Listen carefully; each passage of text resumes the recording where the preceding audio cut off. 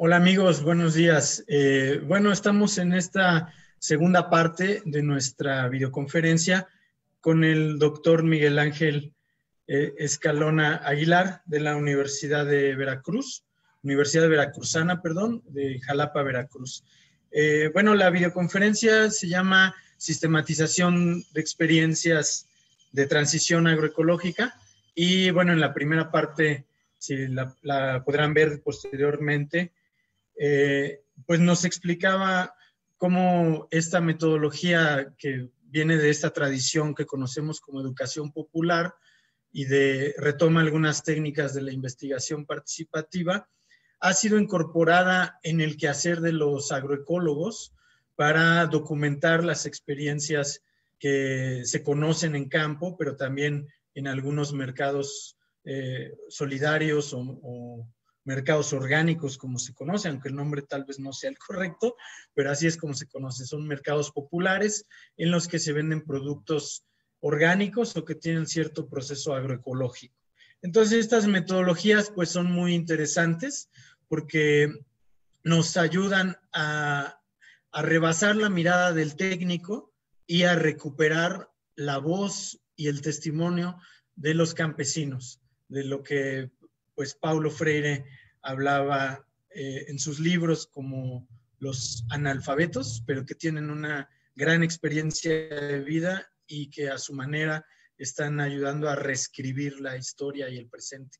Entonces, bueno, eh, tuvimos una falla técnica, eh, una disculpa, pero Miguel Ángel está en línea ahora y está dispuesto a terminar su exposición, unos 10, 15 minutos, y después tendríamos un diálogo con los alumnos que tenemos aquí en, en la reunión de Zoom de este curso. Entonces, adelante, eh, Miguel Ángel, estamos contigo.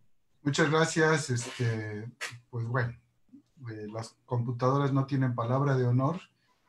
Y dice, ¿Quieres darle y compartir pantalla, por favor? Sí, este, antes dice mi pareja que yo me acabo las computadoras porque siempre las aturo. Bueno, es mejor que tú te acabes las computadoras a que las computadoras acaben contigo, ¿eh? Eso que ni qué. Y con esta pandemia parece que quieren que ahora todas las relaciones humanas sean a través de pantallas y computadoras.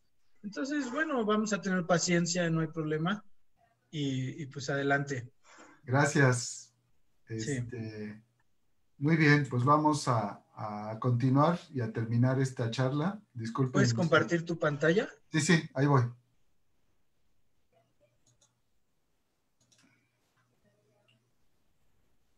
¿Ya la ven? Sí, adelante. Producción de conocimientos. Perfecto. Me voy a regresar a esta muy ¿Puedes rápido. quitar una, una columna de, de, ventanas que está ahí a un lado? ¿La puedes quitar de ahí? Eso, gracias. Eh, me voy a ir aquí porque demanda menos memoria. Voy a tener así sin presentación y espero que se vea bien. Sí, nada más ponle ampliar la pantalla a toda la imagen. ¿Así? O... Así está, mejor. Muy bien. Me avisan si se va viendo. Ahí ya estoy viendo. Te, te estoy viendo, entonces ahí vamos interactuando, por favor. Bueno, les decía entonces, en este proceso ponía este ejemplo de los mercados locales eh, y tenemos que ver cuáles, hay ciertos desafíos y ciertos puntos a tomar en cuenta en este proceso de sistematización. Y decimos que este desafío se relaciona con poder enfrentar por lo menos dos aspectos. Uno, ya lo hemos mencionado, la delimitación clara del, del objeto a sistematizar es decir, qué experiencia realizada en qué periodo y lugar, y esto es un proceso de aceptación mutua, ya lo he mencionado, y la otra, la precisión de alguno o de alguno de los ejes, que decía eh, Manuel al principio de esta sesión. Las condiciones también son importantes, eh, las condiciones personales, por ejemplo, si yo estoy abierto a una disposición de aprender de la propia práctica, si tengo esta sensibilidad para dejar hablar por sí misma y no hacerle decir solo lo que nos interesa o nos conviene. Tener esta capacidad de análisis y síntesis son cosas que son bien importantes. Yo he visto muchas veces entrevistar a algunas personas y dicen, ¿verdad que sí? Eh, nunca empiecen con el verdad que sí, porque si empiezan con el verdad que sí, pues ya están anteponiendo, ya hay un juicio que es importante. Entonces, por eso les hablaba de suspender eh, nuestros juicios. Y por otro lado, las condiciones mismas de la organización e iniciativa que estamos trabajando. El interés de los actores para participar en la sistematización de su experiencia es bien importante tomarlo en cuenta porque entonces eso facilita el acceso a tener esta información. Por ejemplo, una línea de tiempo siempre será interesante saber y una línea de tiempo con los eventos históricos que ocurrieron en el país, en la región y en la organización nos ayuda mucho y llegar a que la gente nos cuente esta, estas historias que hay alrededor de, siempre, siempre es un reto importante porque sí verdaderamente debemos de tener confianza y estar compenetrados, porque no es una descripción de datos, sino de eventos importantes. Organizar talleres participativos, eh, realizar entrevistas y evaluar este, las unidades de producción, pues son elementos que deben estar abiertos. A veces llegar y tocar la puerta de, de una persona, de una unidad de producción, pues también es abrirnos la puerta de su casa y que a veces nos va muy bien y nos invitan a comer rico. Entonces debemos de tener esto en mente y lo debemos de tener claro. También está este hecho de que al final, en la experiencia de sistematización, lo que estamos haciendo es producir conocimientos. Y decimos que si verdaderamente se realiza adecuadamente esto, eh, si tenemos esta visión crítica de la experiencia vivida y hay aprendizajes, quiere decir que se genera un nuevo conocimiento. Eh, un conocimiento para ellos y para nosotros. Ah, entonces, el desafío es realmente garantizar que se produzca un nuevo conocimiento a partir de los conocimientos existentes y que haya una retroalimentación entre todos los actores. Por eso, estas devoluciones paulatinas a ellos para que nos estén retroalimentando es bien importante la relación que se da entre las personas, entre los campesinos, las campesinas, los técnicos, las técnicas, las, personas, tiene que ver, y esto ya lo han de haber estado viendo, pero bueno, siempre es importante mencionarlo, la, la, actitud con la que un técnico, una persona que está realizando la sistematización se acerca a las personas en el campo. Si están dispuestas a aprender de ellas o no. El contexto teórico, tiene que ver con las referencias con las cuales nos hemos aproximado a la experiencia, con nuestra formación, pero no solo esta formación explícita eh, desde la, desde la parte académica o conceptual, sino también con los valores, normas, conceptos de moda, etcétera, que están presentes en el momento en que llevamos a cabo la experiencia. Eh, hoy es inevitable que cuando llegamos a hacer estos ejercicios, pues saldrá el tema del COVID, y no es que esté de moda, sino que es algo vigente, pero puede ser que hay una norma en donde, por ejemplo, las mujeres no pueden hablar solas con una persona externa, este, en, fin, estas normas sociales que ya existen, nosotros eh, tenemos que, debemos de tener mucho cuidado en cómo nos acercamos y cómo lo hacemos. El contexto mismo de la organización, vinculado con la forma en que son vistos los agentes externos, los técnicos o los que acompañamos, de qué manera se concibe la relación campesino-técnico por parte de ellos, es bien importante. La interpretación técnica de lo que nosotros tenemos en nuestra sistematización, y entonces la interpretación crítica de la sistematización no es una mera explicación de lo que sucedió, no es esta narrativa de que pasó para justificarlo, sino al contrario, es una comprensión de cómo se pusieron en juego los diferentes componentes y factores presentes en la experiencia, para poder enfrentarla ahora con una visión de transformación.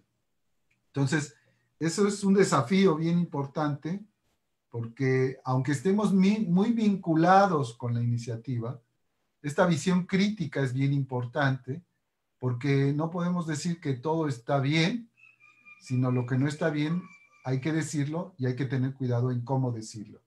Entonces, esta interpretación me parece que es importante. Lo participativo entonces Eh, aunque tenemos múltiples posibilidades, ya referimos estas técnicas de educación popular, quizás un criterio común es que los y las personas que están ahí no sean meros informantes, sino que se sientan sujetos o actores de la experiencia.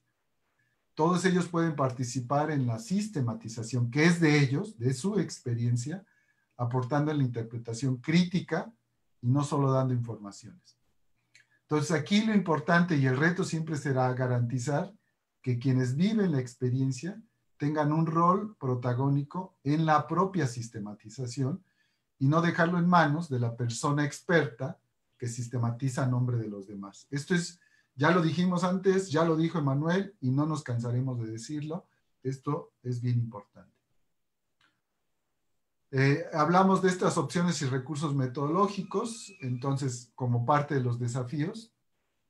Entonces, no es tanto que yo tenga una mochila de metodologías, eh, sino encontrar siempre los elementos que me permitan entrar de una manera adecuada al proceso de sistematización.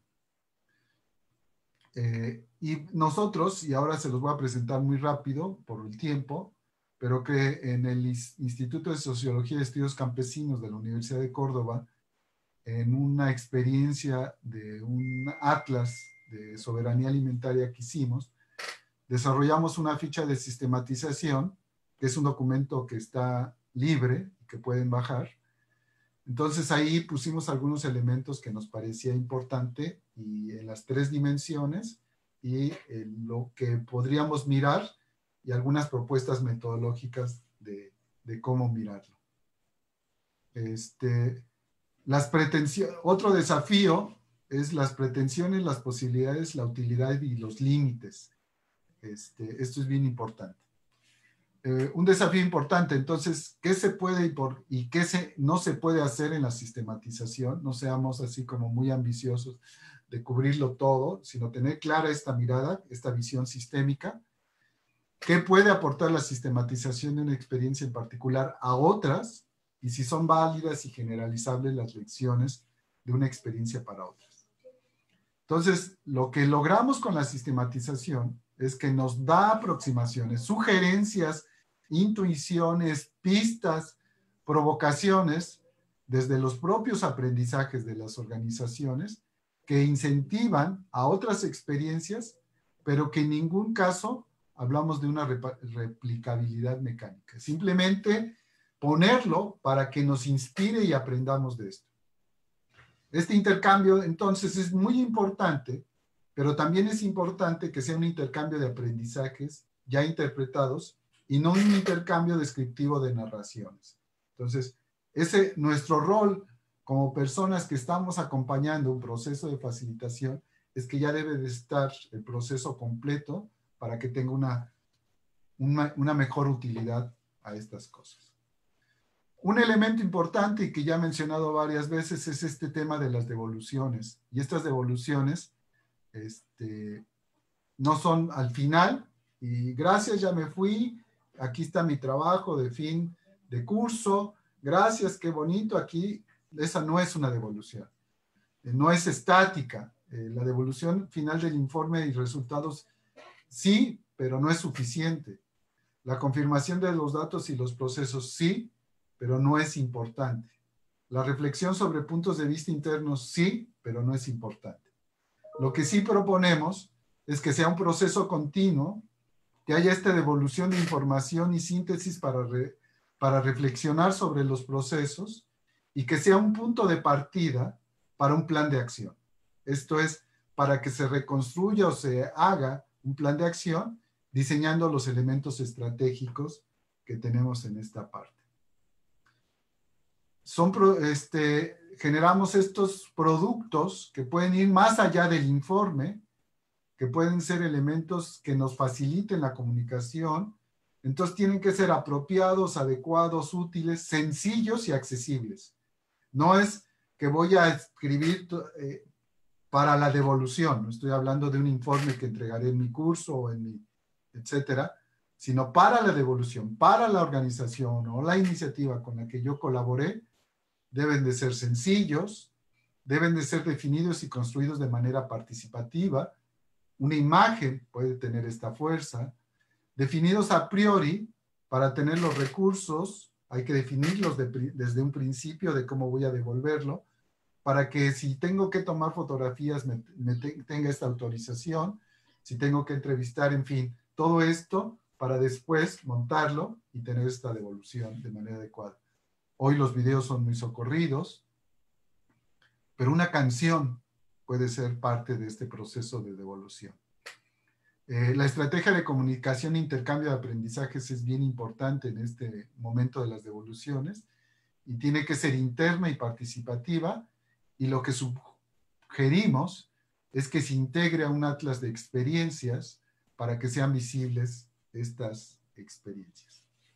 Y ya para ir cerrando les voy a contar varias iniciativas que hay.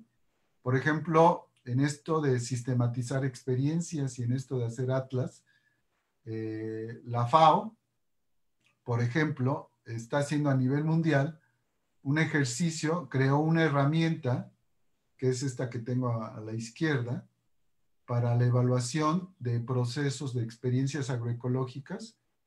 Este, y es una guía que ellos han desarrollado, estamos, está en la fase piloto, este, que están desarrollando justo para sistematizar y habrá un atlas mundial a partir de estas experiencias que están haciendo.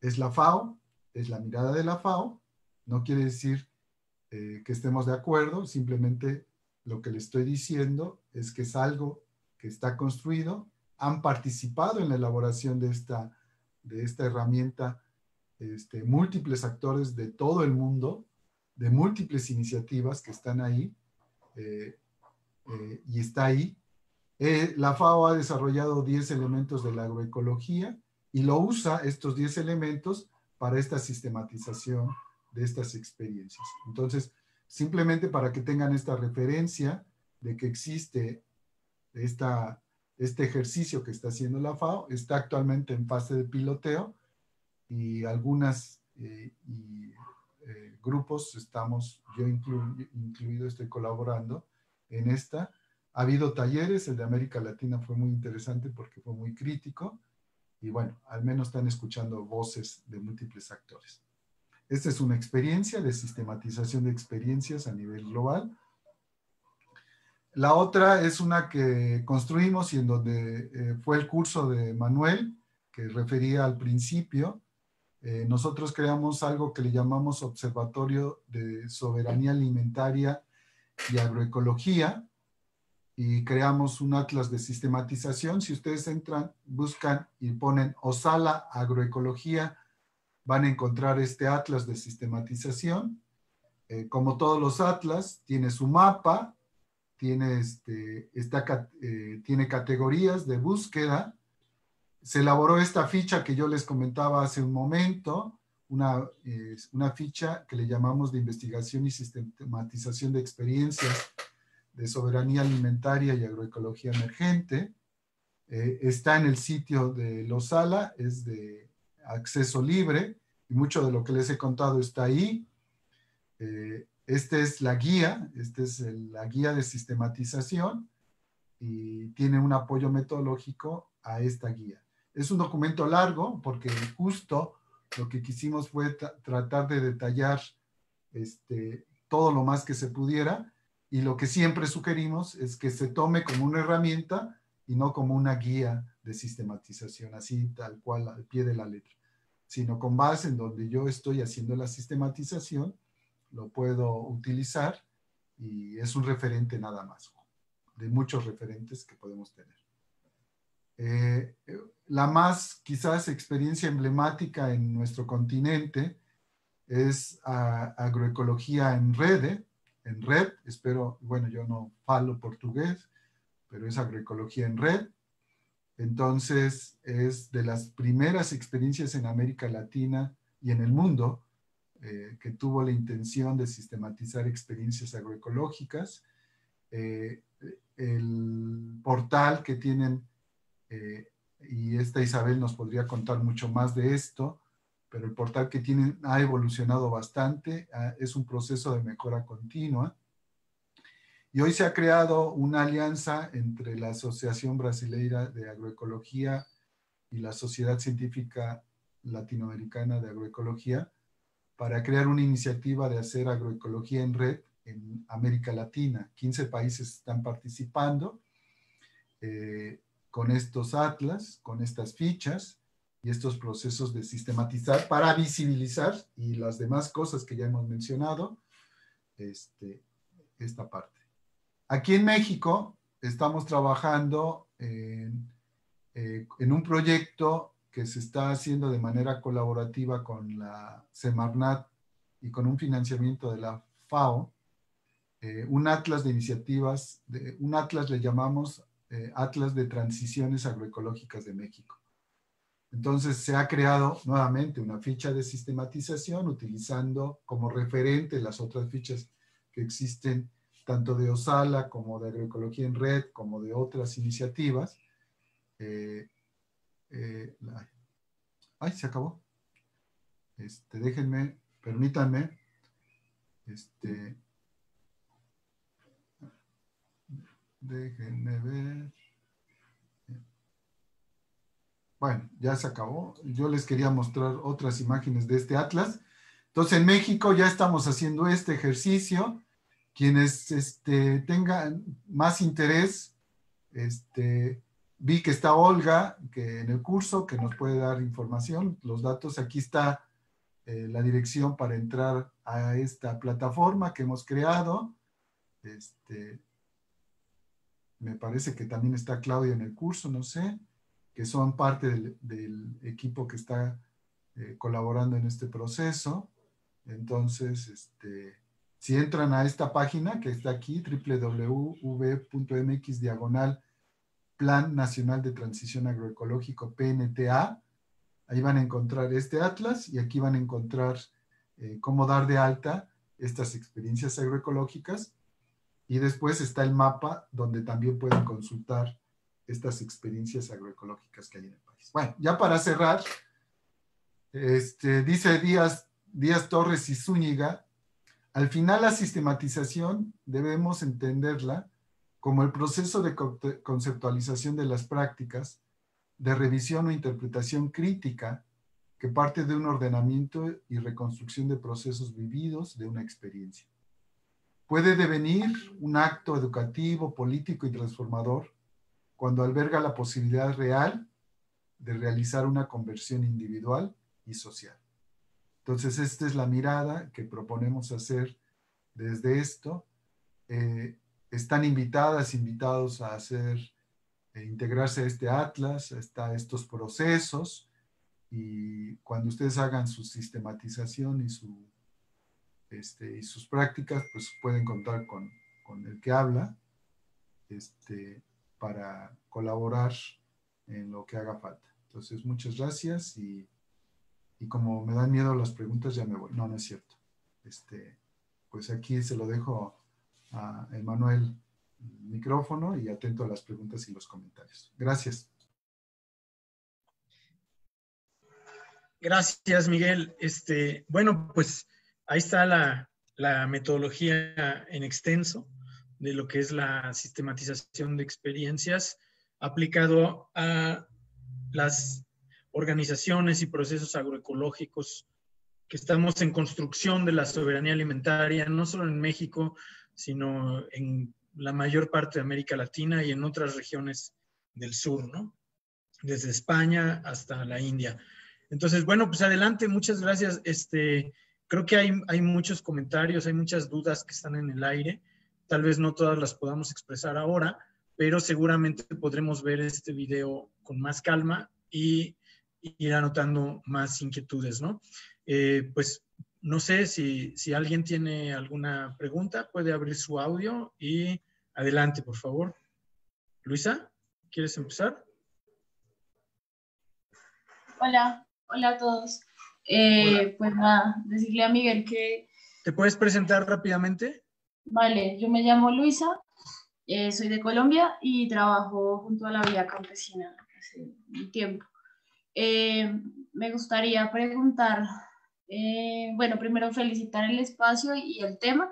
Me gustaría preguntarle a Miguel cuál ha sido como el, el, el como el no, no, producto, sino como la estrategia que, que, vos recuerdes más en la evolución de la sistematización, ¿sí? Porque pues ya hacemos, eh, digamos, en, en, en, la Universidad Campesinos, nosotros hemos hecho videos, hemos hecho cartillas, bueno, todas esas cosas, pero sí me gustaría ver que, me gustaría saber qué otra cosa eh, tú recuerdas que, que, le haya generado a la gente, pues, pues emoción también y, y, que haya sido pues también valioso. Y no, me parece muy chévere todo. Y un abrazo. Muchas gracias, este, Luisa. Eh, un abrazo. Tenemos, Gracias, Luisa. Hay varias, voy anotando las varias y después contesto, o dime cómo está la metodología. Sí, vamos a, abrir las preguntas. Tenemos por ahora solamente una persona más, que es Daniel, y posiblemente otros más se animen. Este, entonces, adelante, Daniel. buen día. Soy Daniel Torres Nava, de docente de la Universidad Intercultural del Estado de México. Una pregunta. Sabemos que existen una amplia gama de herramientas. ¿Cómo saber cuál usar al respecto? Por ejemplo, cuándo usar una entrevista, cuándo hacer un recorrido de campo, cuándo hacer una, una, bueno, una línea de tiempo, etcétera, ¿no? ¿Cuáles son, serían esos tips para mejorar ese uso de herramientas? Gracias. Gracias. Joana, ¿te puedes eh, conectar y presentarte rápidamente y hacer tu pregunta? Joana. Sí, hola, este, hola a todos. Este, soy Joana Torres, trabajo con este, mujeres y en cuestiones de huertos ecológicos y también trabajo con sistemas agroforestales eh, cacautales en Tabasco.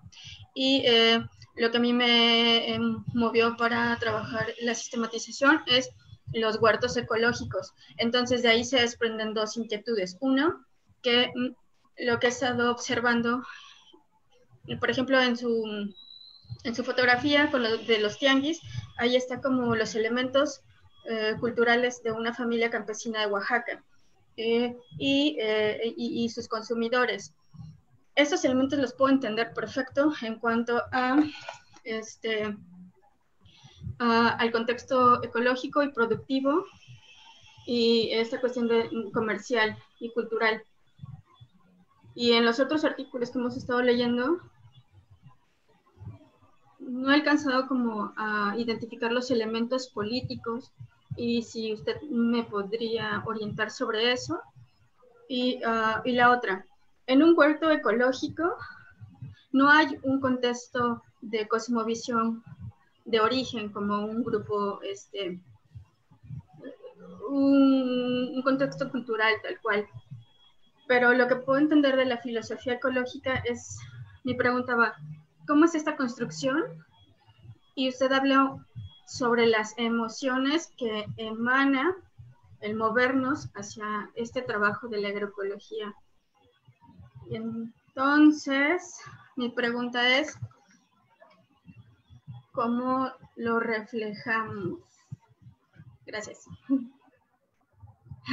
Gracias. Billy Ulfo, y si quieren aquí paramos y le damos la voz a Miguel. Sí, solo, solo Bililfo Ramírez de la Mixteca de Oaxaca. Solo hacerle una pregunta al doctor.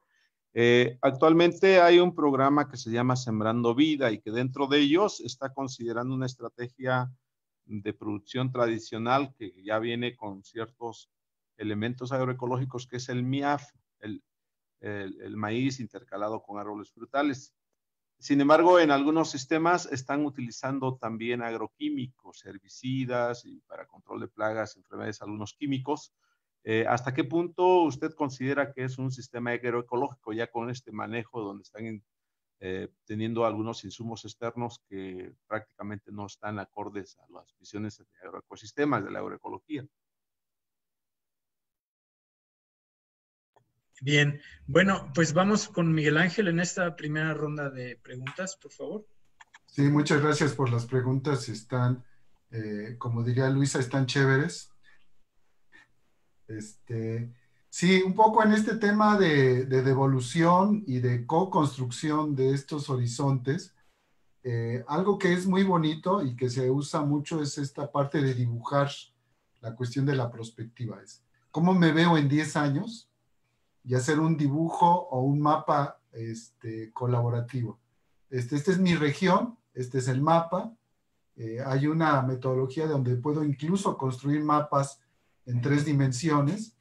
Y esta visión del territorio a veces la gente la tiene porque camina y va a todos los lugares, pero cuando tiene esta visión así macro, de repente se le empiezan a caer como muchas ideas, porque dice, ah, mira, es que el pueblo ese está más allá, más en la montaña que donde yo estoy. Entonces, una metodología muy bonita de hacer estos mapas participativos del territorio y justo también ayuda a entender los problemas de la región para después tener eh, mi ámbito de acción.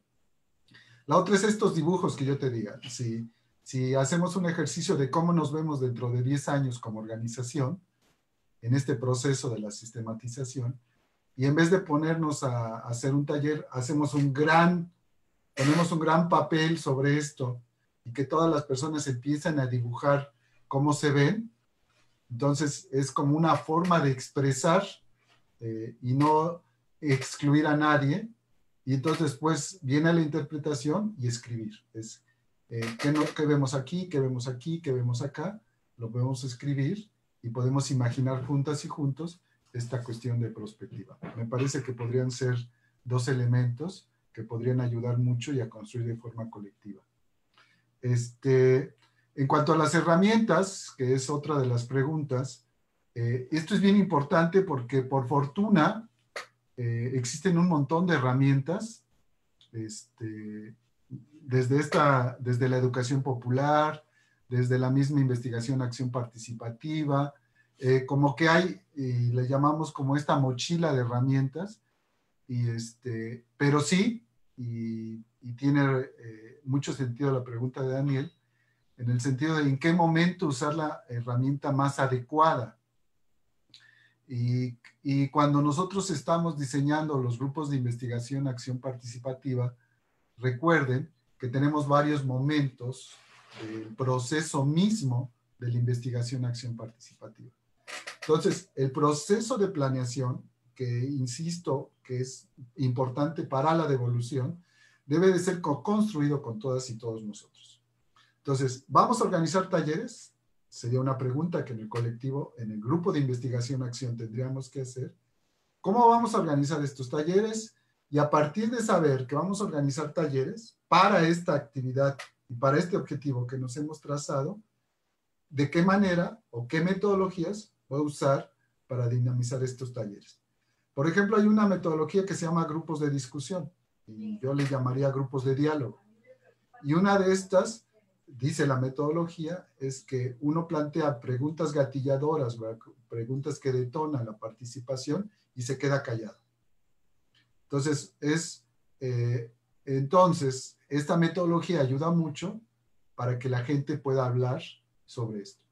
Eh, es un momento, es una metodología que podemos usar cuando ya estamos muy vinculados con la organización.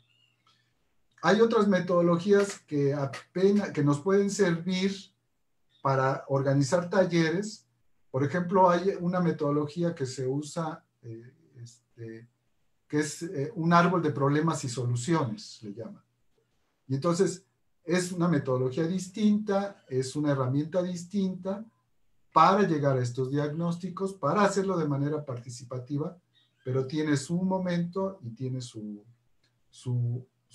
este, su proceso metodológico. ¿Qué quiero decir con todo esto?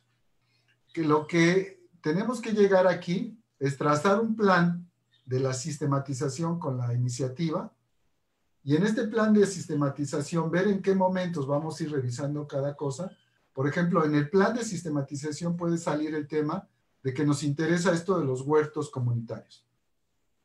Este tema de los huertos comunitarios y que el huerto comunitario en un lugar determinado, pues si bien es cierto, ayuda a producir alimentos, no tiene mucho que ver con mi elemento cultural, eh, porque yo como otras cosas, por decir algo. Entonces, en ese momento, en esa ruta de sistematización que sale el huerto, entonces, ¿cómo voy a usar mis herramientas para obtener esta información? Entonces, no sé si me explique. Si yo alcanzo a definir mi plan completo de sistematización, en cada uno de estos momentos es que voy a utilizar una herramienta u otra. La recomendación más importante en esto del uso de las herramientas es que yo la haya usado antes. No puedo llegar a improvisar, porque si improviso hay un, hay un rompimiento en la relación que estoy construyendo con la iniciativa que estoy sistematizando. Y entonces, mm, la recomendación sería, antes hagan un piloteo, vean cómo lo pueden hacer. Si tienen dudas, consulten con quien ha utilizado estas metodologías. Este, hoy eh, hay un proceso metodológico que se llama el de la narrativa, que es muy interesante, que todo el mundo quiere usar a veces, pero hay que tener ciertos principios y cierta experiencia para llegar a una narrativa que no se quede una, una cuestión de descripción, sino en una cuestión eh, más importante. Entonces, este, a lo mejor no le contesto a, Daniel así puntualmente qué metodologías, pero sí me parece que es importante que tengamos esta ruta muy clara de la sistematización y que en cada momento podamos utilizar esta parte. Eh, un poco lo que decía Joana, este, y nuevamente vuelve a hacer esta mirada sistémica de la sistematización. Y por eso es que planteaba yo las tres dimensiones de la agroecología. Y yo siempre digo que es como una puerta de entrada. ¿Por dónde entro? Entro por la dimensión técnico-productiva para ver que, los huertos este, son poco biodiversos o que están poco vinculados con el elemento cultural o político mismo de la iniciativa sí, puedo entrar en ese análisis y ver qué cultivos, qué ciclos de producción, toda esta parte técnica, pero yo como parte del proceso de sistematización tengo que ver las otras dimensiones. Es qué empoderamiento están teniendo las mujeres, porque muchas veces los huertos familiares están vinculados con las familias y con las mujeres en estas múltiples jornadas que por desgracia a veces tienen que ocurrir. Pero ese, eh, como es esta jornada múltiples del cuidado, el huerto se vuelve como un componente de, este, las mujeres y que a veces este, tenemos que visibilizarlo también porque este, si bien es una actividad familiar, vuelve a ser un elemento de, de, más carga de trabajo para las mujeres. Y esto ya está empezando a ser una dimensión política al interior de la propia familia. Es cómo se empoderan a partir de esto, cómo se perciben estas personas desde esta dimensión y a veces porque cuando hay excedentes salen a la venta y en muchas comunidades el que la mujer gane dinero a veces va en contra de la propia este, relación familiar, porque tradicionalmente se piensa que el que gana dinero es el hombre, y si hay grupos de mujeres exitosas, pues hay una descomposición ahí mismo, y que tenemos que hacer visibles y que tenemos que favorecer, y entonces esta dimensión sociopolítica es bien importante y esta mirada la debemos de tener en el análisis y en la sistematización de experiencia. Y entonces es nuestra mirada como participantes del proceso de sistematización que tenemos que hacer este, visibles. Entonces, eh, y lo, ligo con esta pregunta que hace Isabel, que dice, ¿Cómo podemos pensar metodologías para estos tiempos virtuales? Y esto es bien importante. Este, y, es trascendental. Y ahorita este, le doy la palabra a Joana. Este, nos llegó de repente, nos llegó de repente el aislamiento, el estar confinados, y no estábamos preparados para dinamizar procesos participativos en la virtualidad. Es como un balde de agua fría. Y entonces lo que hacemos eh, es lo que hemos hecho hoy. Hay una persona que habla, habla, habla, habla, y después ya cuando hay poco tiempo empezamos a interactuar. Entonces, eh, nosotros estamos tratando primero de conocer las tecnologías, cuál es el potencial que tienen las tecnologías, un poco para ir creando eh, procesos participativos. Entonces, primero tenemos que conocer muy bien las herramientas que tenemos y después tratar de adaptar procesos que hemos ido eh, cultivando a este uso de esta herramienta.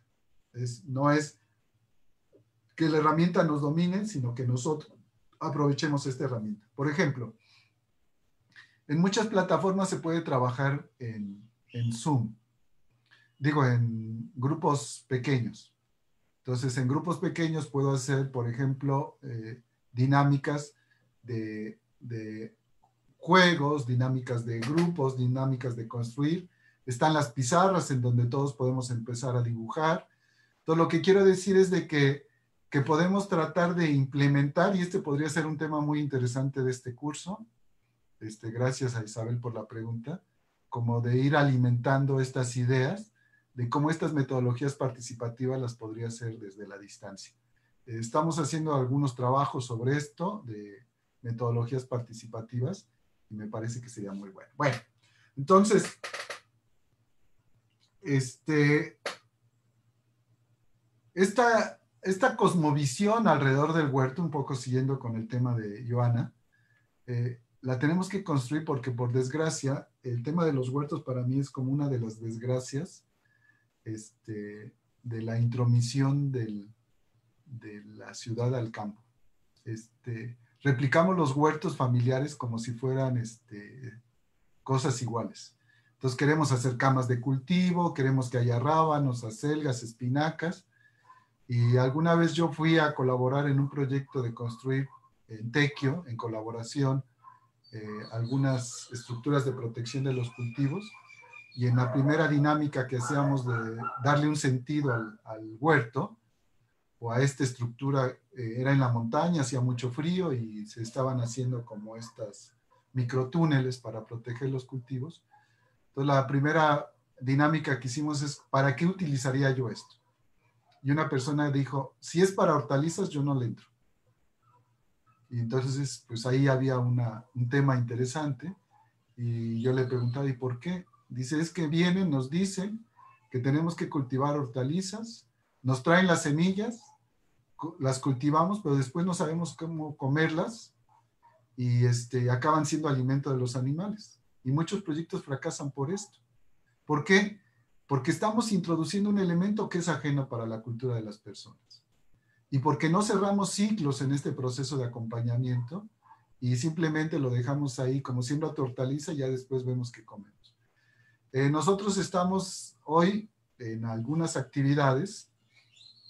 Este, eh, estamos haciendo un juego de palabras que, tiene mucho sentido.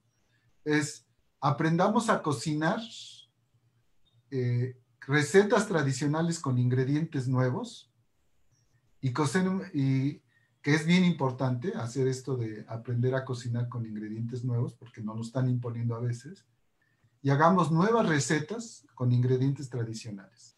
Un poco en, esta, en, este, en este sentido, de, de irle dando sentido desde mi historia, desde mi cultura, desde mi forma de cocinar. Porque si no lo hago así, no tiene sentido.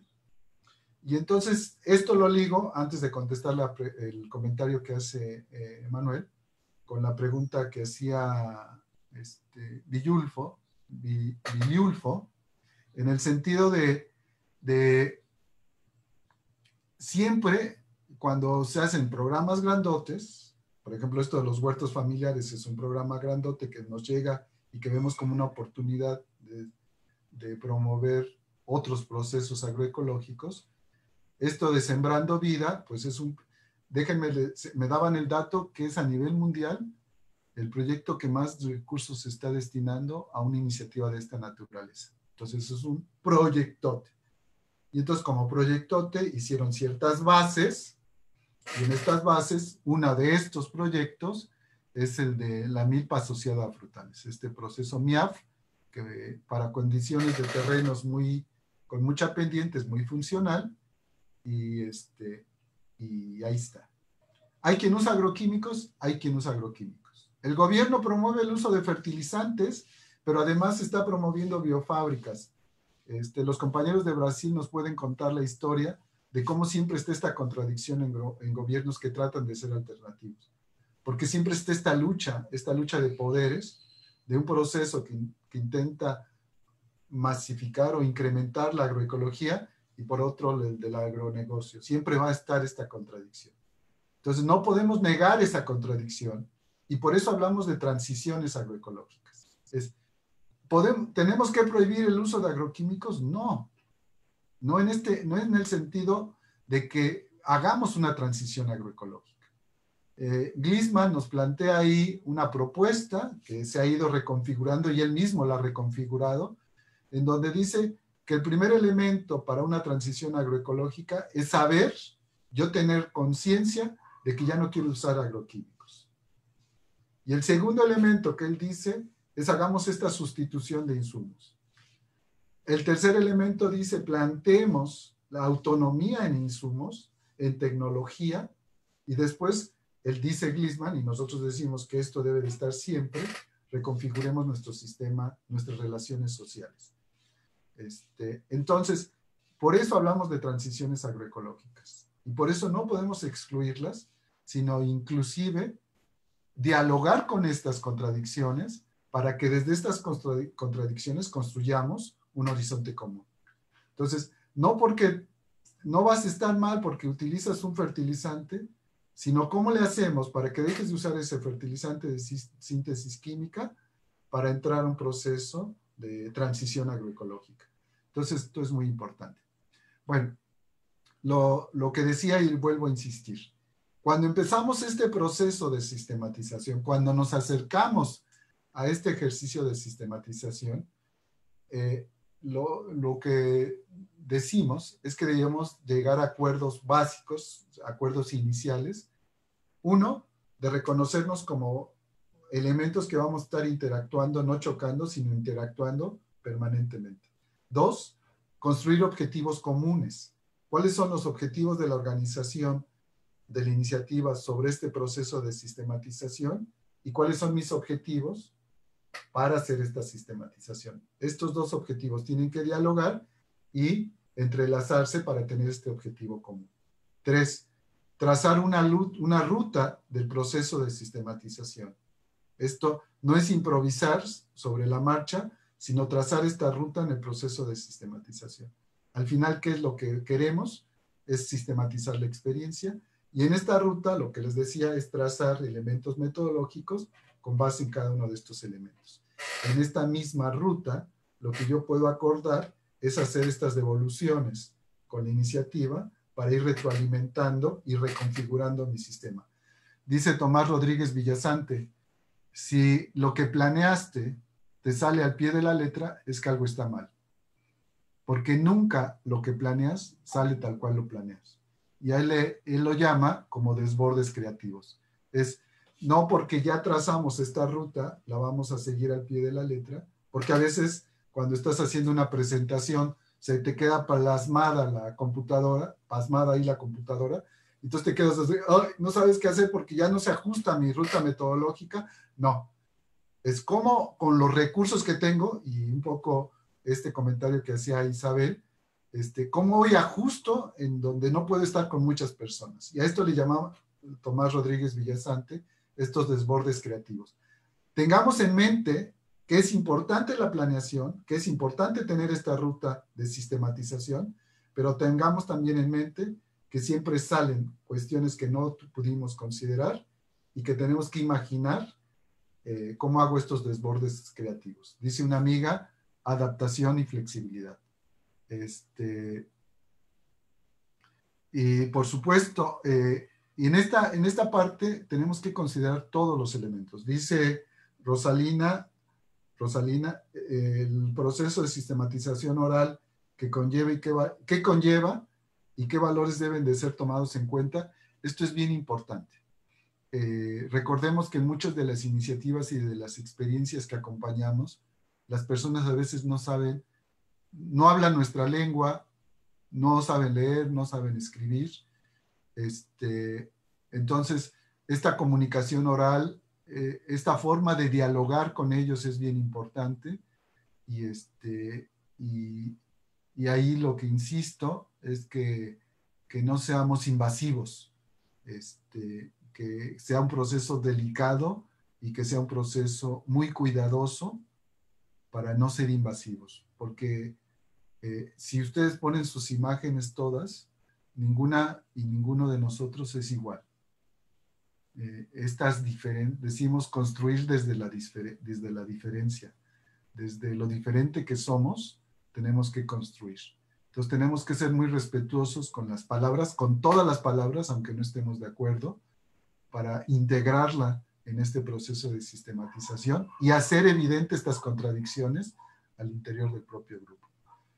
Eh, dice Olga, este, exacto, el objeto del conocimiento es la experiencia, que son procesos vitales en permanente movimiento, que combinan dimensiones objetivas y subjetivas, la realidad del contexto, las acciones de las personas que en ellas intervienen, las percepciones, sensaciones, emociones e interpretaciones de cada actor, las relaciones personales y sociales entre ellos.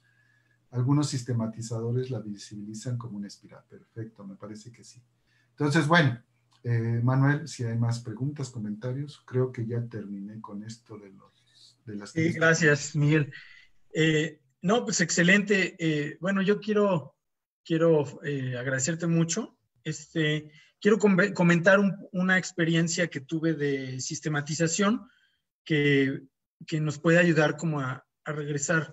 Eh, bueno, yo fui invitado a una investigación en la UNACH sobre, que se llamaba Representaciones Sociales de la Pobreza, que creo que ya lo comenté aquí en alguna sesión.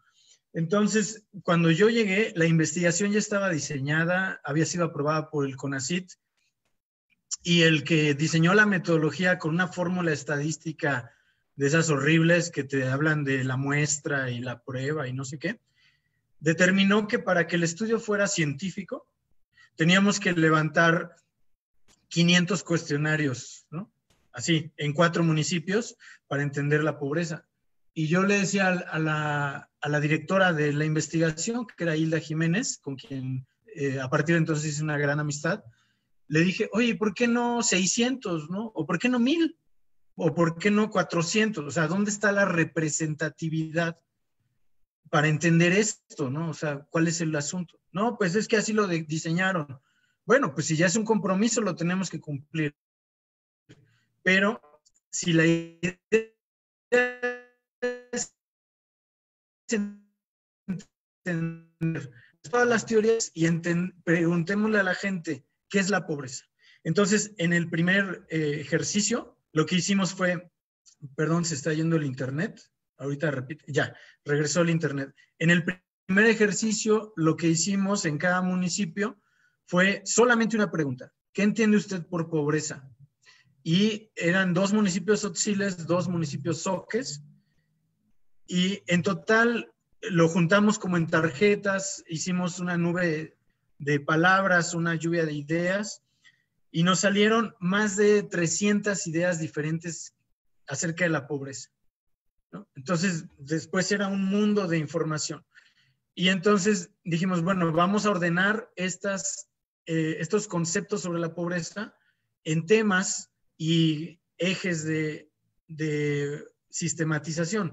Y entonces elegimos cinco ejes que con base en los medios de vida, de, que es este, el capital económico, el capital cultural, el capital social, el capital ambiental y el capital cultural, ¿no? Y ya ahí fuimos haciendo temas y subtemas y bueno, ya logramos poner en perspectiva todas las ideas de la representación y luego dijimos, bueno, pero esto es solo un pequeño grupo que, con el que levantamos la información, los que asistieron a los talleres que eran 20 en cada municipio.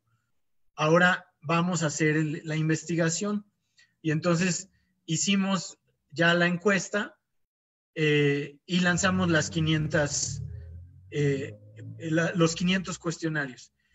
Capacitamos unos estudiantes de licenciatura y se emocionaron tanto de, entender a la gente, de qué, qué pensaban ellos acerca de la pobreza, que al final levantaron más de 500 entrevistas, hicieron como 600. Y bueno, eh, también mi amiga Hilda se emocionó tanto que empezó a hacer talleres de teatro para que la gente fuera expresando su, su idea sobre la pobreza. Entonces al final, tardamos después seis meses en ordenar toda la información este, y pues finalmente logramos entender la pobreza desde la perspectiva de la gente. Y bueno, para interpretar la información, pues lo hicimos con el enfoque de género, porque teníamos toda la información, entonces diferenciar qué entienden las mujeres acerca de su pobreza, qué entienden los hombres. Y luego con un enfoque transversal que era el de edad, que entienden los jóvenes, que entienden los viejos y los adultos intermedios. Entonces fue muy interesante eh, y lograr entender todo eso. Entonces, bueno, ese es para una investigación. Entonces, nunca nos salimos de la pregunta central, ¿qué es la pobreza desde la perspectiva de la gente, desde su representación social? Ahora, si lo que queremos no es hacer una investigación, sino queremos, este, eh, bueno, la investigación está en línea, pero posteriormente les pongo el PDF. Este, si lo que queremos no es este, hacer una investigación social, lo que queremos es contribuir a una organización social. Entonces no nos vamos a plantear un ejercicio tan grande porque además no tenemos tantos recursos, sino que nos vamos a poner una pregunta eje. Por ejemplo, como yo le decía hace rato a Luisa Fernanda en la mañana, bueno, ustedes son una organización que tiene mucho trabajo en la región Huichol o Huicárica y en la región Sotzil de Chiapas, y en otras regiones del país. Entonces es, es muy grande. Entonces, primero tal vez como organización, sistematizar su propia experiencia. Porque además, bueno, lo que dice Oscar Jara, uno de los, de los autores más interesantes en esto de la sistematización, es que la mejor sistematización es la que hace la gente que ha participado en la experiencia. Entonces, la, la, la sistematización se vuelve significativa cuando las personas sistematizan su propia experiencia. O por lo menos el sistematizador, que es un externo, se involucra de tal manera que se vuelve un facilitador del diálogo, un facilitador del proceso y la gente, primero que nada, define su pregunta de sistematización.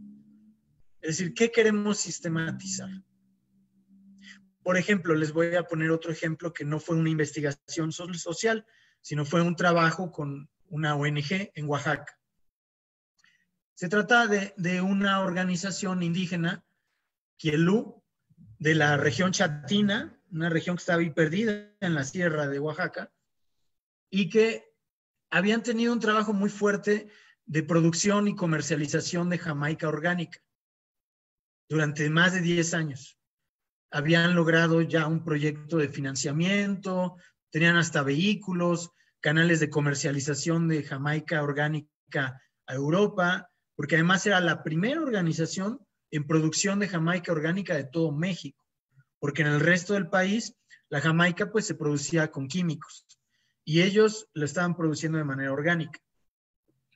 Entonces, este, pues para delimitar de toda su gran experiencia de 10 años, ¿qué es, dónde querían poner la mirada? ¿Qué es lo que querían sistematizar? Pues primero hicimos como una historia de la organización de manera participativa con estas herramientas que nos comenta Miguel, de historia de vida, etcétera, ¿no? Pero de historia de la organización. Entonces, en una línea del tiempo, em, tratamos de reconstruir toda la historia o, lo que la gente recordaba.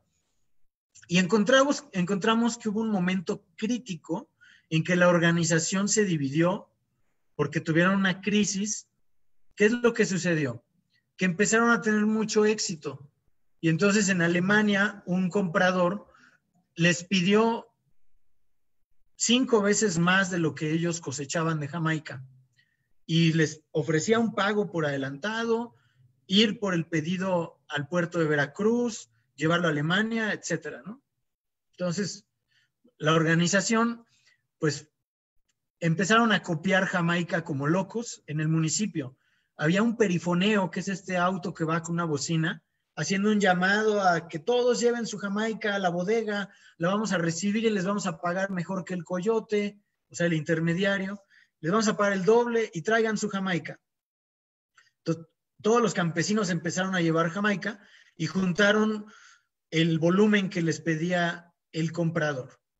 Pero resulta que lo mandan a Alemania, les pagan y después de un mes la empresa de Alemania les mete una denuncia, porque les dice, es que ustedes se comprometieron a mandar Jamaica orgánica y me están mandando Jamaica trabajada con agroquímicos.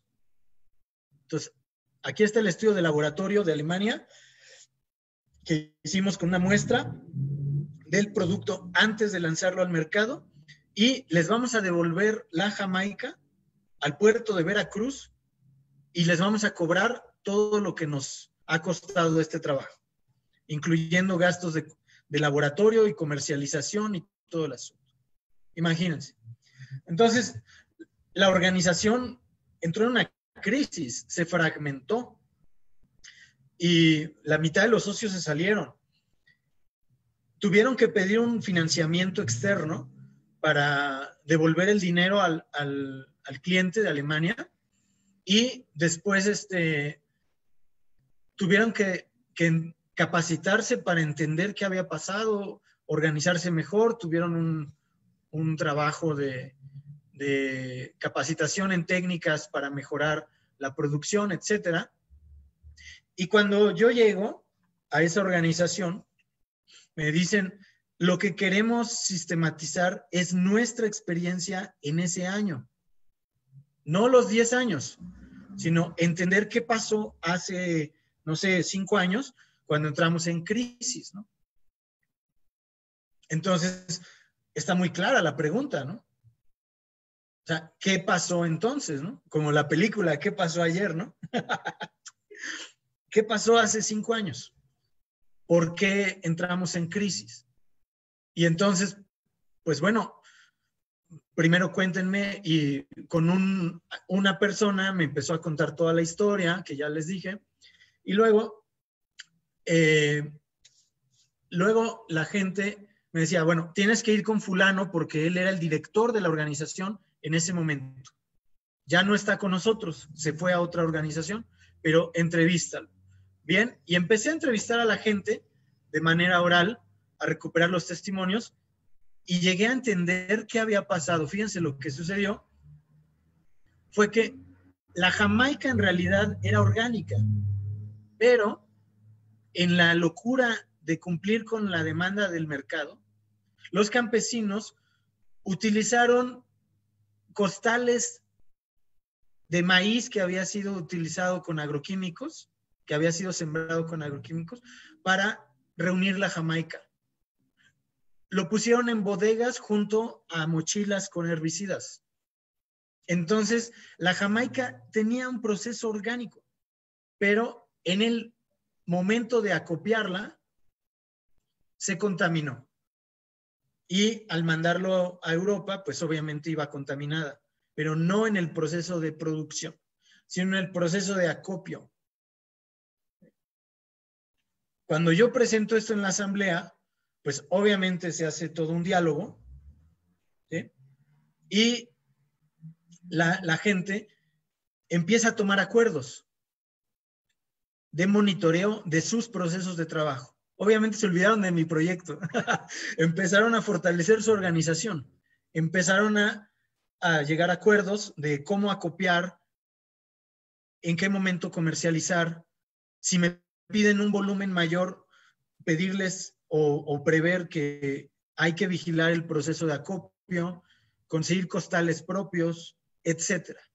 Y obviamente, pues el proyecto que yo llevaba rebasó sus metas y sus expectativas y la misma gente, sin, sin, que yo lo hiciera, empezaron a hacer no un manual de procedimientos como le llamamos los técnicos, sino acuerdos de asamblea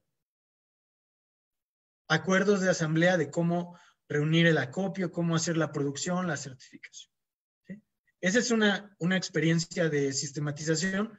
Lamentablemente yo no era investigador en ese entonces, era activista, que bueno, sigo siendo activista, pero ahora desde la academia, y este, no tengo el trabajo escrito, tengo este testimonio y pues bueno, a lo mejor algún día lo escribo o, o veo qué hago con esa información. Por lo pronto se los pongo como un ejemplo de sistematización que, evidentemente es participativo. Entonces, bueno, adelante. Si alguien quiere hacer una pregunta, un comentario sobre esto que estamos comentando Miguel y yo, o, o que alguien más está hablando, Por favor, prendan su audio.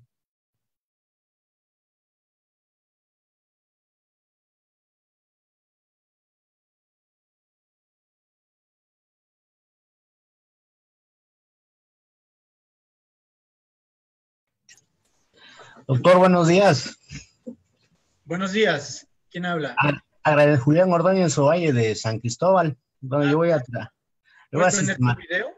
Sí, claro, nada más que ando este, porque no tenía señal en la sala.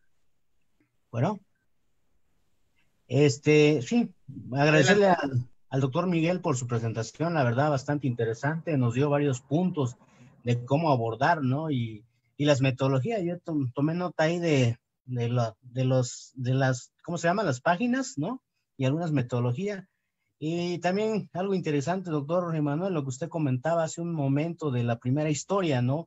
Yo creo que, bueno, yo soy estudiante de maestría y apenas voy en el segundo semestre y para mí todo esto es nuevo, ¿no? O sea, parece metodología simple, pero se me complica, ¿no? ¿Cómo lo abordo? ¿Cómo entro?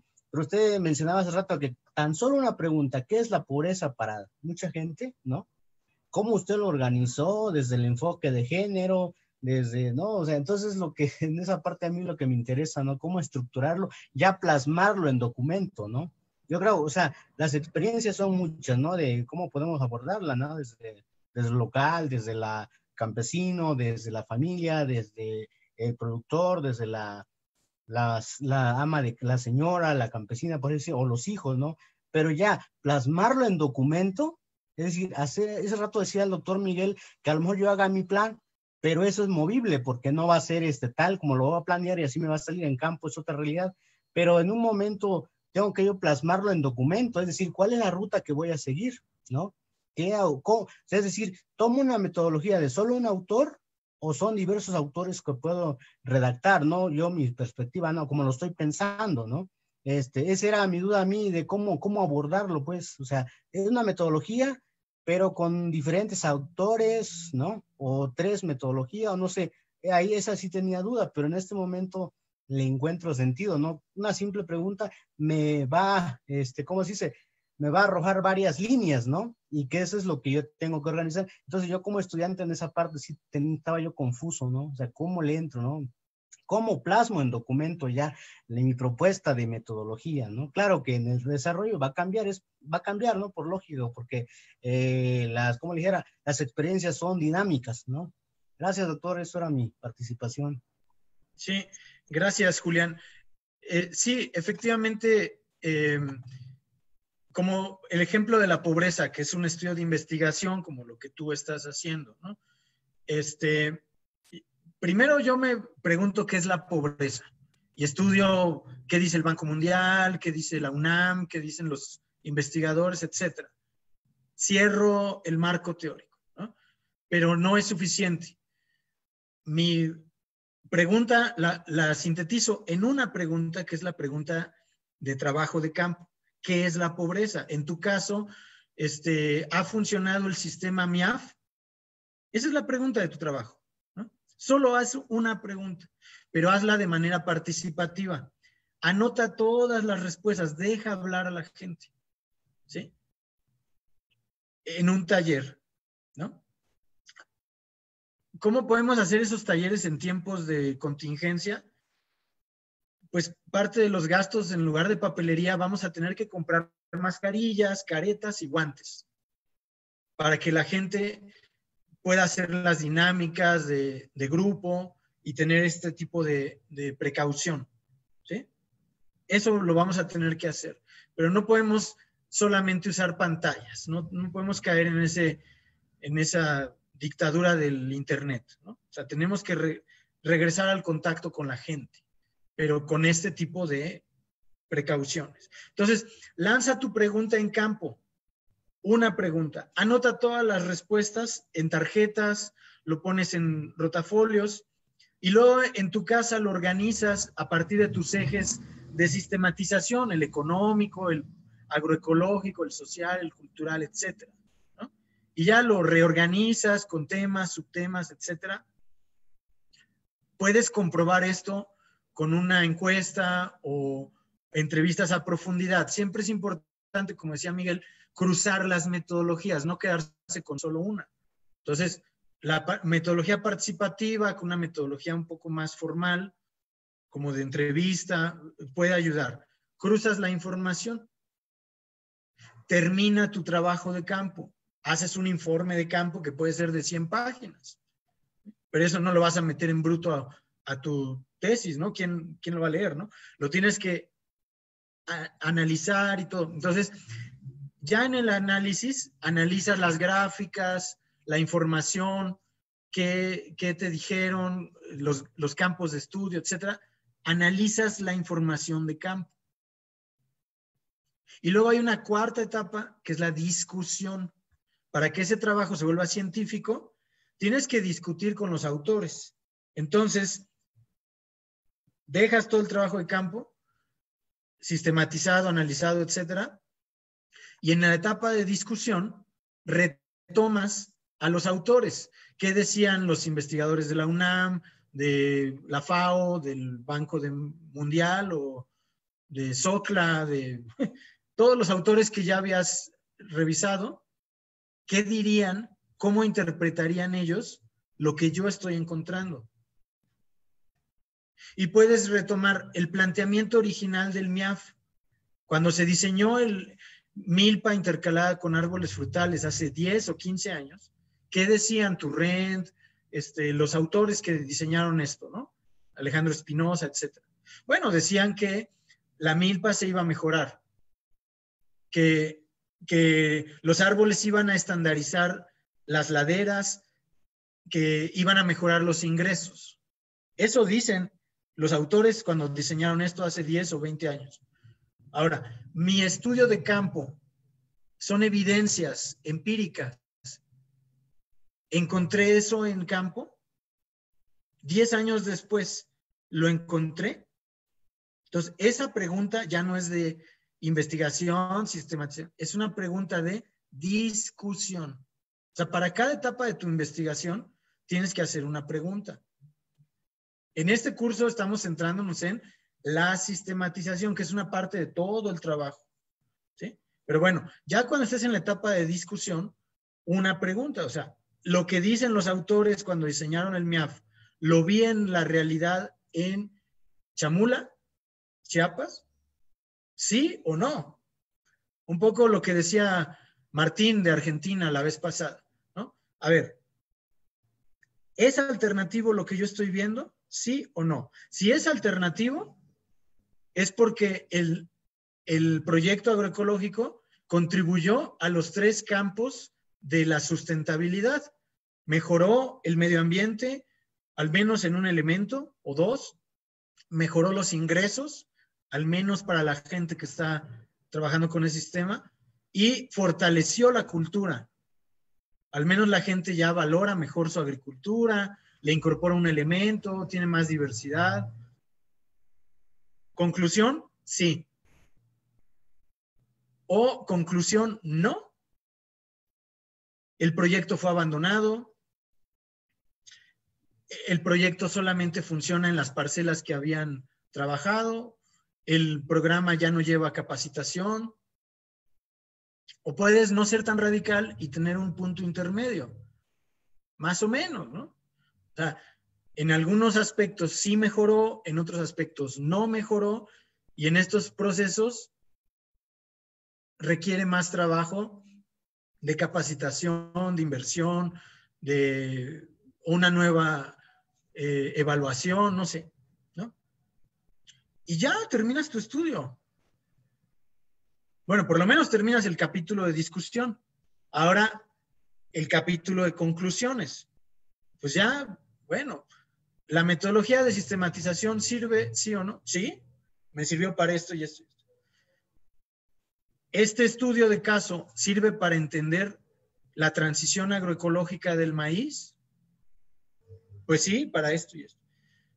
El MIAF está mejorando los procesos agrícolas, etcétera. Sí o no en esto. ¿Cuáles son los límites de la experiencia? Bueno, para que se masifique esta experiencia, pues tendría que haber un acompañamiento constante o algún puesto en el mercado donde vendan sus cosas, no sé. En fin, ahí está tu investigación. Y tú eres el que lo tiene que hacer. O sea, de todos los que estamos escuchando esto, eres el único que está haciendo esa investigación. Y Martín en Argentina está haciendo otra cosa.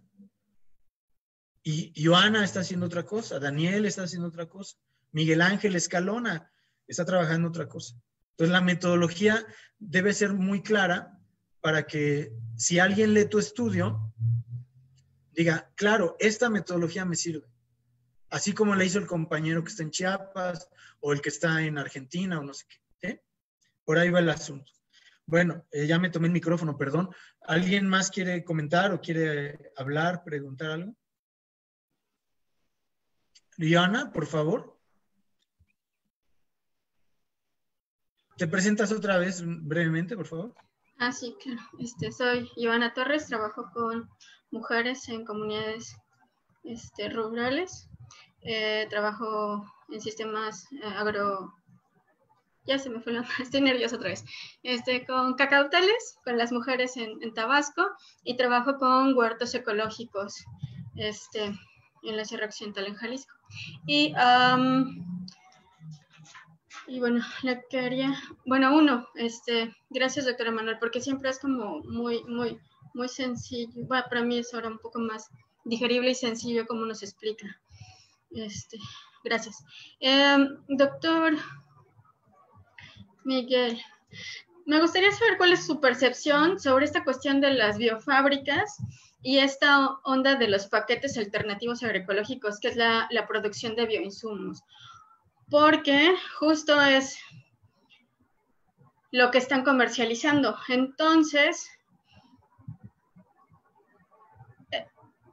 no es llegar a la comunidad y decirle, les vamos a solucionar la vida haciendo compostas y le vamos a solucionar la vida eh, poniéndole sulfo cálcico a, las plantitas, o sea, o hacer otros caldos minerales. No, o sea, eh, va mucho más allá. Ahora ya lo entiendo. Y gracias por eso. Entonces me gustaría saber cómo su percepción sobre, sobre este tipo de, de actividades, así como muy aisladas porque el doctor Carlos Guadarrama justo hablaba de eso. O sea, hoy se está vendiendo la agroecología como vamos al curso este, de, manera, de manera comercial. Aquí está la interpretación de, uso de, de las muestras del suelo y cosas así. Me gustaría saber su opinión. Gracias. Contesto, me espero. Eh, si gustas contestar, ¿hay otra pregunta? ¿Te la formulo? Sí. Eh, la voy a poner aquí en el chat. Es de. Dice: Muy buenas tardes, mi nombre es Juan Esteban Trinidad desde Michoacán. Lo están preguntando en Facebook. Dice: Mi pregunta o comentario es sobre esta forma de la sistematización de experiencias agroecológicas y que pueden ser herramientas educativas de carácter ambiental. Frente a esto, ¿cuáles son los retos que se deben afrontar en este intercambio desde los productores y organizaciones en un ambiente educativo. No, sé si se entendió la pregunta. ¿Sí? O sea, es, está preguntando como este diálogo entre campesinos, herramientas educativas y trabajo con el medio ambiente. ¿Sí? A ver, entonces... Ahí, veremos qué inventamos. Sí, adelante. Este. Eh, un poco sobre la reflexión de Joana, este, a mí parece que el tema, bueno, eh, tú citas biofábricas, pero es la misma MIAP, son elementos tecnológicos que están ahí y que no podemos llegar, ponerlos y pensar que es la neta del planeta. Eh, es parte de un proceso. Y este proceso tiene que ser un proceso nuevamente y es algo, y yo agradezco tu comentario porque me parece que es importante para que en algún momento podamos comentarlo con los funcionarios que estén ahí, porque esta visión sistémica que yo les planteaba siempre tiene que estar presente. Este, incluso si a ti te toca trabajar en, este, en este programa que se llama Sembrando Futuro, Sembrando Vida, este, digo, si a alguien le toca estar acompañando este proceso, por un lado está la parte normativa que dice hay que impulsar la parte de biofábricas, hay que impulsar bla, bla, bla, bla. Y entonces agarra la biofábrica, la montas, que no tiene ningún elemento extraordinario, eh, que hoy es muy común. Y después agarras y empiezas a vender y después pues ya y generas ahí como una sustitución de vender este, eh, plaguicidas para vender este, eh, bokashi. Entonces, este, eh, este es un elemento importante.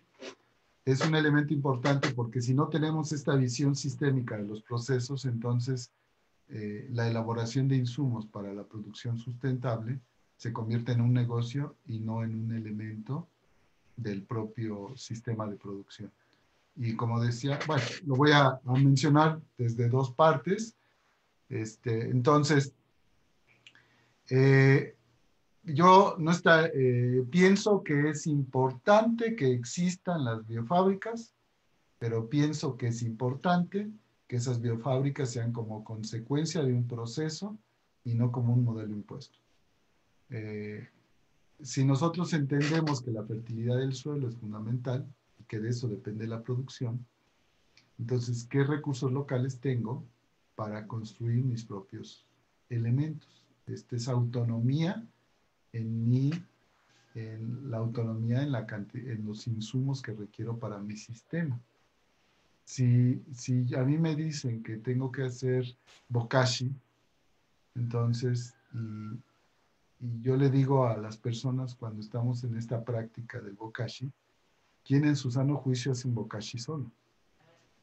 Este, porque los que han hecho alguna vez bokashi saben que es una chamba de los, es una chamba, y es un elemento que está ahí que dicen que hay que hacer. Luego te dice el bokashi, era una pregunta que hacían la otra vez alguien, me hacía alguna vez. ¿Y en dónde consigo la sémola de trigo? Este, que es un elemento, o la cascarilla de arroz, porque a veces cuando transfieres este elemento, te copias la receta y, este, y ya lo tienes y dices, puta. Entonces, más que generar autonomía, generas una dependencia una dependencia al técnico y una dependencia a los insumos para tener un insumo orgánico. Entonces, si lo vemos como una herramienta tecnológica descontextualizada, me parece que es más dañino que benéfico. Si lo ubicas en un proceso en donde se construye colectivamente a partir de los recursos locales, entonces tiene otro sentido. Por ejemplo, en Tlaxcala, eh, las compañeras y compañeros de Vicente Guerrero hicieron algunas adecuaciones al bokashi y hasta le llaman tlaxcashi, este, porque incorporaron elementos que hay en la comunidad, elementos locales, y el hacer bokashi era una práctica colectiva que fortalecía al grupo. Entonces estaban haciendo un insumo orgánico porque sabían cuántas toneladas de bokashi necesitaban para qué superficie de las parcelas de frutales o de cultivos básicos que tenían, y entonces el Bokashi se convertía en un acto, en un elemento tecnológico que fomentaba la colaboración entre los grupos de la organización. Se convertía en una posibilidad de este tequio, porque podíamos tener Bokashis en diferentes lugares, y entonces se convertía en la oportunidad de verlo como un proceso de la unidad de producción y no solo el Bokashi. Entonces entraba todo el elemento que ellos han desarrollado muy bien, que es la conservación de suelos. Y entonces el incorporar un abono a este proceso de eh, conservación de suelos, de manejo de la biodiversidad que ellos tienen, se convertía en un elemento importante. Y entonces le daba sentido tener unidades de producción de abonos orgánicos distribuidos en diferentes unidades de producción, que después de manera pomposa le llaman biofábricas. Entonces, eh, no sé si me explique, eh, es al revés el proceso. Se construye un elemento tecnológico que le da fortaleza a esta eh, organización y que después ellos en esta metodología de campesino a campesino comparten como parte de su experiencia. Que es bien importante en estos procesos, es que dialoguen los propios actores y no los técnicos eh, en esa parte. Y lo que decía Emanuel, es un buen ejemplo de un ejercicio de sistematización para evidenciar incluso al colectivo, al grupo, de cómo se deben de ver estos elementos tecnológicos eh, en el proceso mismo de la iniciativa. No como una imposición, no como una dádiva que viene de un recurso que hay que aprovechar porque me lo están dando, sino tener la capacidad de verme en este proceso y aprovechar estas capacidades. Es lo que han hecho muchas organizaciones. Este, Vicente Guerrero mismo este, tiene esta capacidad de saber que existen estos apoyos, pero no irse en la fantasía de que voy a tener, voy a acceder a este apoyo para responder a esta política, sino este apoyo, cómo responde a mis expectativas de organización que tengo. La TOSEPAN en la Sierra Norte de Puebla es un ejemplo muy interesante. Y entonces en ese sentido me parece que, vale la pena este, verlo. Yo así lo vería. Entonces, el, el elemento tecnológico es un elemento bien importante porque este, nos permite mantener la fertilidad del suelo desde esta visión sistémica, pero el adoptar un modelo generalizado, eh, viendo la sustitución de insumos y el lucro, me parece que desvirtúa estas cosas. Entonces, simplemente aprendamos a diferenciarlo y, y, y entonces, en ese sentido, es en donde el tema de la formación tiene relevancia. Eh, y ese es un poco atendiendo la pregunta de, Juan Esteban, que dice que entonces, eh, que si las, estas experiencias agroecológicas pueden ser herramientas educativas de carácter ambiental, por supuesto que sí. Pero no solo de carácter ambiental, sino de carácter socioambiental, diría yo. Entonces, y por eso estas tres dimensiones, o por eso estas, estas dimensiones del agroecosistema como el componente natural y el componente humano, no los podemos desvincular nunca. Este, eh, y también, y yo usaré un ejemplo de los baños ecológicos. Este, yo le, le, digo a la gente, este, cuando hagan un baño ecológico, háganlo lo más parecido a un baño convencional, de tazas y de agüita y eso. Dice, no manches, es que, ¿dónde queda lo alternativo? Pues digo, a ver, tú regrésate a hacer caca a un, a una, a un cajón de madera en donde no sabes dónde está, el, en fin, pues, nosotros no nos gusta la caca. Y a la gente eh, un baño que no parezca normal le recuerda la pobreza. Entonces, cuando generamos estos elementos de muy alternativos y esto, y lo queremos masificar como los baños, la neta del planeta, pues tenemos esta ruptura este, de este imaginario que tienen las personas porque nadie quiere ser pobre.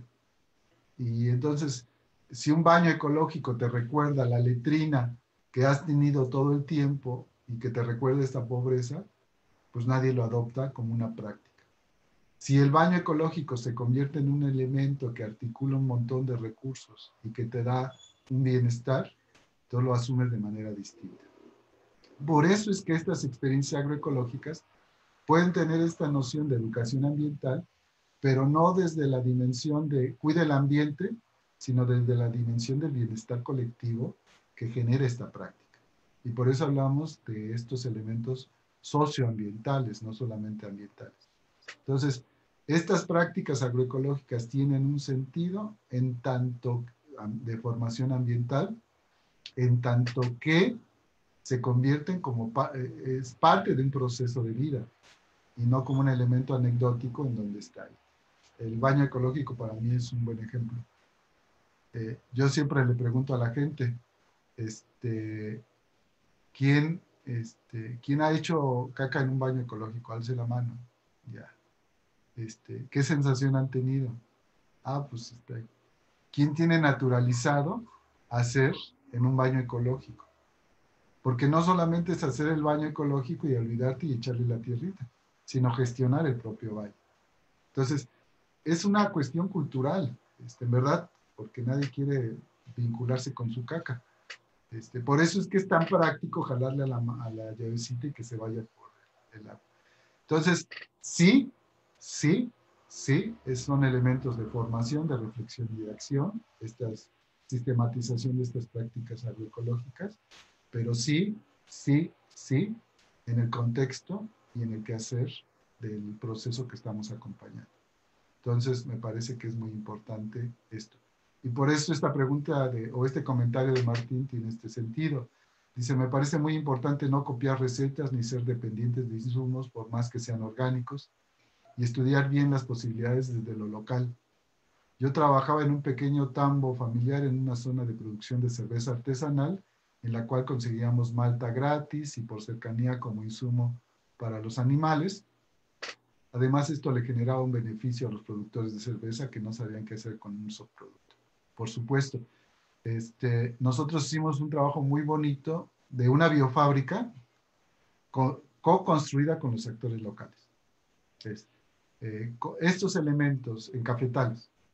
Y entonces eh, hacíamos, hicimos un trabajo de ver cuáles eran los recursos locales que ellos tenían. Entonces salimos a caminar con la gente y decíamos, ¿qué, qué fuentes de materia orgánica tienes? Este, y entonces decían, de materia orgánica sí, de basura, decíamos, porque la gente ubica la materia orgánica como basura. Y entonces empezamos a ubicar más de 30 diferentes tipos de hojarasca que podían tener en los cafetales las personas. Y, la, y en ese sendero, que es una metodología, eh, eh, hacer estos senderos de acompañamiento con la gente, ellos, y, y, se iba anotando, ellos iban diciendo, esta se descompone más rápido, esta no se descompone, esta tarda mucho tiempo en descomponerse, etcétera, etcétera. Y entonces a partir de eso, de este dato, lo presentamos al colectivo y empezamos a darle sentido a la elaboración a estos abonos locales. Estos abonos, con estas metodologías que ya están establecidas, con los recursos locales.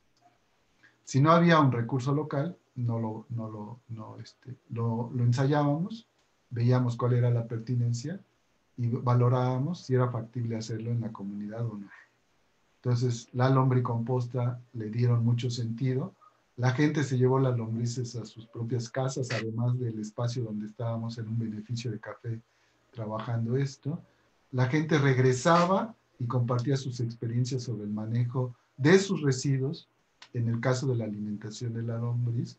Entonces generaba esto que le llamamos nosotros comunidades de aprendizaje, porque empezábamos a dialogar entre todas y todos este, sobre nuestra experiencia en alimentar a la lombriz si le había ido bien o no, con base en las metodologías técnicas que habíamos este, desarrollado a partir de una serie de capacitaciones. Entonces, veíamos que los residuos orgánicos no era un problema de, que no era un problema, sino un bien y un bien de gran valor. Entonces, este carácter ambiental del disminuir la contaminación a partir de los residuos orgánicos cambiaba la noción de ellos a partir de darle un sentido a esta fuente de materia orgánica. Entonces, eh, por eso me parece que es muy interesante este, ir co-construyendo estos procesos con las personas. El, concepto de biofábrica a mí en lo personal no me gusta. Este, me, me, parece que es así como etiquetarlo y, ponerlo eh, en este sentido que, decía, que decías, Joana. Y, este, y bueno, ya este, muchas cosas que contar de esto, pero muchas experiencias. Y hoy, por fortuna, después de varios años que dejamos la iniciativa, eh, la gente sigue teniendo este, eh, sus, módulos de lombricomposta y de abonos. Hicimos videos con ellos, este, que quedaron muy bonitos, lo pueden ver en, en, un programa de televisión que se llama Tlayolotli, Corazón de Tierra, que hicimos con ellos. En fin, este, y eso es lo que planteamos en estos procesos, la autonomía de los actores, no la permanencia del técnico, sino la autonomía de, lo, de la... Porque eso sí nos lleva a soberanía. En lo anterior no es soberanía. Hay una pregunta de Hugo. Hugo, ah, ¿puedes entender tu video? Es de Minatitlán, Veracruz. Ajá. ¿Qué dice? No veo. No. Ah, eh, hay pregunta, Hugo. Sí, sí. Buenas tardes. Eh, bueno, yo eh, tengo dudas en el sentido de la cuestión de la sistematización de la cuestión agroecológica. Yo eh, quisiera sistematizar la cuestión del impacto del cambio climático en las siembras de cultivo de maíz. en la zona sureste del estado de Veracruz. Esto es porque, bueno, los productores eh, pues están preocupados y lo que más resalta es la cuestión de que llueve antes, eh, hay sequías más prolongadas y bueno, eh, los lleva a ellos a preguntar, bueno, ¿qué podemos hacer? Los que sembramos maíz criollo tenemos que comprar otros maíces de, que son más cortos o buscar otras alternativas que no las hemos documentado, que nos comentan ellos en el sentido de que a veces no llueve y se pierden las cosechas. Los suelos ya no retienen tanta humedad eh, con las inundaciones, porque las sequías son bastante fuertes.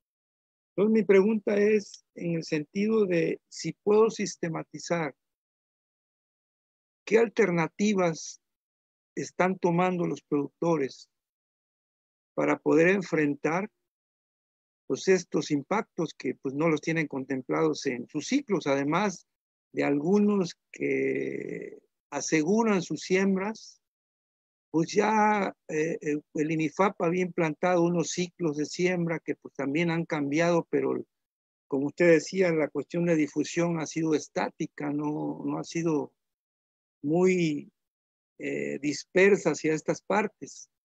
Entonces sigue el mismo proceso de aseguramiento, cierran en enero y algunos empiezan a sembrar en enero, las fechas de siembra se cambian, entonces yo quisiera documentar esto para poder respaldar de alguna manera eh,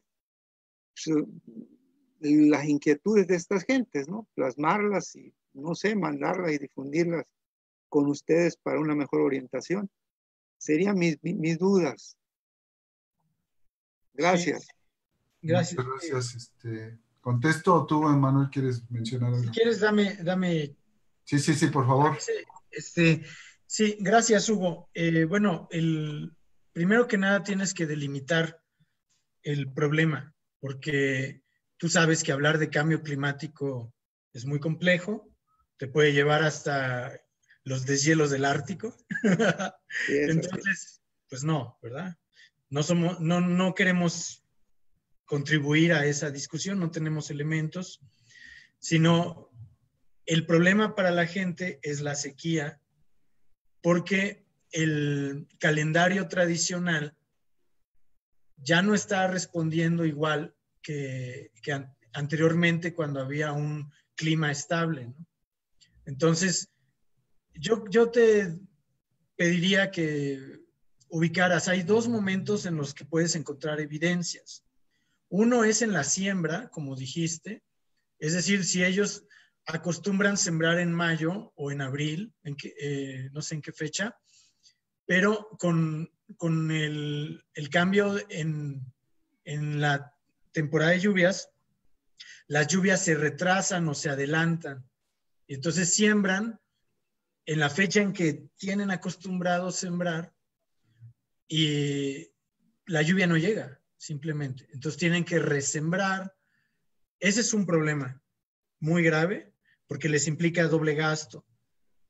Otro momento en que puedes encontrar evidencias de lo que quieres entender es durante la canícula. También en el calendario agrícola tradicional, la gente cuenta lo que es la canícula, es decir, el periodo de floración, es decir, en septiembre más o menos, o en agosto, no sé, ahí en esas comunidades, cuándo es ese calendario, eh, pues hay un periodo de 15 o 20 días en que no llueve. Y ese periodo es muy importante porque es cuando permite la floración del maíz.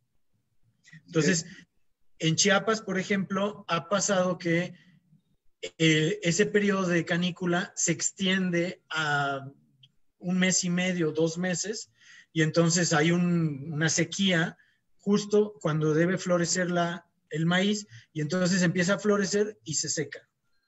¿sí? Entonces, primero yo te, pediría que, que delimites uno de esos dos momentos en que puedes observar empíricamente tu problema. ¿sí? Y solamente enfocarte en ese momento en, en la sistematización.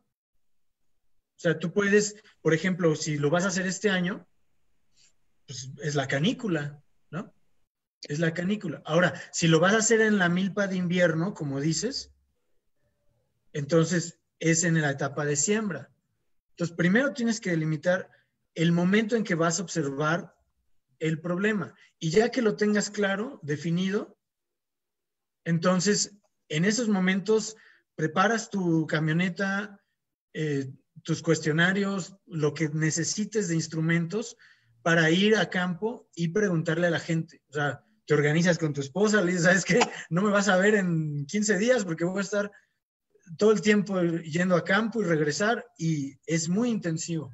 Recoges toda la información y ya.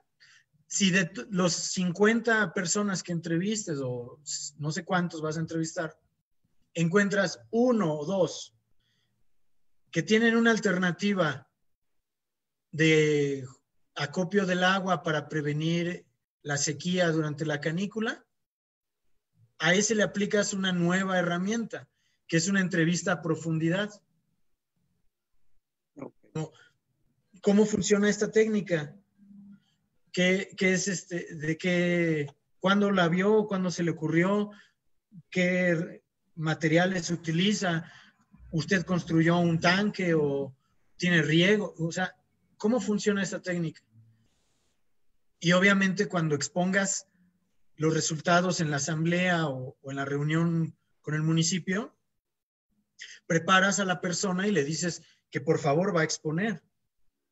Y tú como técnico con las fotografías puedes tal vez este, ayudarle. En lugar de hacer un PowerPoint, que son horribles esas cosas, puedes imprimir o hacer un póster con varias fotos, un collage, y ese tenerlo ahí impreso y, ya, ¿no?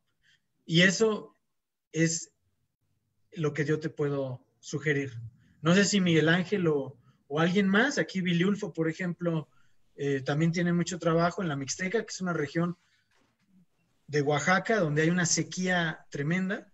Entonces la gente debe tener ya sistemas agrícolas tradicionales para manejar la, sequía. Por ejemplo, en Chihuahua, yo encontré que al maíz le ponen cal para que el maíz resista la sequía. Pero a ver, Biliulfo, ¿quieres comentar algo sobre cómo harías tú ese estudio? Sí, en este caso, este, aquí en la Mixteca, la canícula, la, eh, como lo manejé en el chat, la consideran como ah, eh, interpretando la luna de llena anterior, si es de agua o es de sequía. Este, porque puede o no llover o llover de más en ese periodo. Eh, son dos situaciones que en un momento dado, la primera, si está dentro del periodo, promueve la floración y la segunda, pues, eh, ocasiona problemas para la floración, ¿no? Y, este, y sí, efectivamente, este, aquí en la Mixteca, por ejemplo, cuando se prolonga la canícula, pues este, normalmente se tiene lo que es la siembra de cajete, ¿no? O sea, le hacen un, pudiéramos decir, como un semi, semicírculo ahí con cierta profundidad para que almacene el agua desde antes de entrar a esta canícula. Particularmente así lo hacen aquí los campesinos de la Mixteca. Bien, bueno, pues eso es lo que te podríamos decir, Hugo. Ok, gracias, gracias. Este, ¿Puedo comentar algo? Por favor, Miguel. Eh, no, yo creo que el título hay que cuidarlo sabemos que es cambio climático y esto, pero no vayamos a llegar a campo y decir que es cambio climático, porque ya hay un primer choque, porque a lo mejor la gente no sabe qué es cambio climático, aunque ahora hay todo un imaginario de lo que, porque todo el mundo habla de cambio climático, y puede ser un concepto de, de choque ahí importante. La otra es, este, ¿qué, queremos? Que es la pregunta que lo que dice Manuel. Es verdaderamente de todo este universo de cosas, ¿qué es en lo que yo puedo contribuir eh, con este ejercicio de sistematización? Este, están estas prácticas culturales tradicionales para interpretar la distribución de las lluvias que hoy no, que hoy no funcionan. Por ejemplo, este tema de, la, de las cabañuelas, era algo que la gente sabía y tenía cierto nivel de precisión. Este, alguna vez hablaba con algún amigo campesino hortelano español y me explicaba todo el proceso que había detrás del cálculo de las cabañuelas y no era como sencillo, pero era maravilloso. Entonces hoy la gente ya lo distribuye, hay un elemento cultural que le llaman. Este, esto que decían de las lunas, que tiene mucho sentido. Entonces, como la idea es preguntarme como hacia dónde quiero ir en este ejercicio que es muy amplio. Hay muchas cosas alrededor de esto. Eh, estas, eh, simplemente es sistematizar estas prácticas que la gente conoce sobre cómo manejar las épocas de escasez de la lluvia, podría ser una pregunta. La otra es, ¿existen materiales que, eh, que han evidenciado, que conocen las personas que tienen cierta tolerancia a esta distribución heterogénea que antes no existía? ¿Y cuál ha sido el comportamiento? y existen prácticas que la gente esté implementando para adaptarse a esta condición de esta heterogeneidad. Son como preguntas que nos podemos hacer y a partir de estas preguntas diseñar la sistematización de la experiencia con las herramientas que tenemos. Este, entonces, primera definición, en tu caso, sería que de estos elementos que acompañan el tema del cambio climático te parece que es más relevante con más en las conversaciones que has tenido con el grupo? Eh, ¿Qué le duele más? Nosotros en un taller participativo que diseñamos, le llamábamos los dolores de la milpa y le decíamos, a, eh, hacíamos un taller participativo que le preguntábamos a los hombres y mujeres juntos qué le dolía la milpa y entonces, pues, ¿cómo que qué le duele la milpa? Me preguntaban. Pues sí, este, ¿qué se nos dificulta? Y por ejemplo, en este ejercicio salió el tema así muy, muy recurrente del almacenamiento de los granos. Eh, porque era un problema común para todas y todos que se les agorgojaba el maíz. Entonces ya sabíamos que el tema ahí relevante era el almacenamiento del maíz. Hicimos un siguiente ejercicio sobre qué prácticas este, tradicionalmente ellos usan para almacenar el maíz. Y entonces después hicimos un ejercicio para explicar entre todos un poco la biología de los insectos que, que se alimentan de los granos almacenados y después entre todas y todos construimos un método de almacenamiento de maíz, adaptamos un método de almacenamiento de maíz y después evaluamos el método de almacenamiento de maíz en cuanto a si era factible hacer, este, en cuanto al costo, en cuanto al manejo, en cuanto al espacio que tenían en cada casa, etcétera, etcétera. Entonces, a partir de un taller que tenía muchos elementos amplios, pudimos concretar una acción eh, eh, almacenamiento, conocimos el problema, diseñamos una estrategia, valoramos la estrategia y, este, y lo, y se promovió. Pero entonces es eso, esto que ha insistido Emanuel el día de hoy, en cuanto a tener muy clara la pregunta, y esta pregunta la debemos de hacer junto con las personas que viven en el lugar, para después desarrollar toda esta práctica metodológica. Este, y por supuesto que, este, eh, que, que, bueno, yo estoy invitado hoy por acá, pero con mis datos pueden pueden contar con mi, con mi, este, mi apoyo. Este, soy una persona que se distrae mucho, quiere decir que tengo muchas actividades, pero con gusto puedo colaborar. Y aquí nos comparten una experiencia importante sobre este tema de las, de las semillas. Este, y otra vez esta cosmovisión de del uso de los recursos es bien importante. No solo lo veamos desde esta dimensión técnica, sino también desde esta dimensión cultural y también desde esta dimensión política. Entonces, este, esto que nos narra este Manuel, ah, pues Manuel, este, Manuel nos dice que es una práctica que usan los raramuris para conservar el maíz y fortalecer la semilla para evitar las pérdidas por la sequía es un conocimiento que no encontré en un artículo, me lo compartieron los Ramones en la sierra. Por cierto, también me dieron una bolsa de 5 kilos de maíz conservados con cal como regalo para los campesinos soques de los Chimalapas. Este, cuando lo llevé, su destino intentaron replicar la técnica, sembraron el maíz, pero tuvieron resultados diferentes a los que tenían los raramuris. ¿Por qué? Porque hay recetas, porque no hay recetas mágicas, exacto. Este, hace poco me pidieron, este, me decían, me, ¿dónde puedo encontrar maíz para sembrar? Eh, ah, no, compré un maíz en la feria de la milpa que organizamos por acá, este, y me lo pide, me pide semillas un amigo que vive en, un, calcomulco, se llama el lugar, que es muy bajito, muy rico. ¿Podrá, podré darle la semilla y yo le decía más bien pregúntale, pregúntate de dónde viene la semilla que tú tienes, porque no es si, si la puedes o no sembrar, sino de dónde viene y si es compatible con el lugar que tú tienes. Entonces, no hay recetas mágicas, hay cuestiones de adaptación. Entonces, bueno, muy bien, pues este, pues muchas gracias. Este, yo tengo que gracias. comer. Gracias. Este, pues gracias a todos por su asistencia y su participación. Eh, pues si alguien de, de nuestro grupo quiere despedir a nuestro invitado, lo que hacemos es que le, le damos unas palabras de, agradecimiento. Entonces, no sé quién quiera, este, no sé si Fernanda, que fue la que inició la exposición el día de hoy. Hola. Ah. Luisa, sí. Bueno, compañero, muchas gracias, de verdad. Bonito, bonito. ¿Ya es todo? bueno, muy bien, pues muchas gracias. Así se siente el entusiasmo. ya hace hambre, ¿no? Bueno, pues, ya nos falta suquitas. Sí, pues bueno, pues muchas gracias, a todos. por los aplausos, Carlos. Sí, gracias a todos por su exposición y su paciencia. Un saludo, que tengan buenas tardes. Eh, voy a, a, despedir. A ver, sí, a ver, permítanme, no se me vayan. Ya, ya paré lo del Facebook. Eh, gracias. Muchas gracias. Nos estamos... mucho, por favor.